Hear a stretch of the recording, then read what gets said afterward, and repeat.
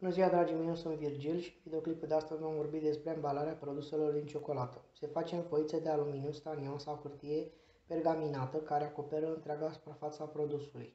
Peste această foiță se pune etichete, vignete de prezentare sau cutii individuale. Ciocolata de ser se așează în cutii de carton de 1-3 kg în straturi separate între ele cu hârtie pergament. Ciocolata figur se ambalează în puși de celofan și apoi în cutii de transport.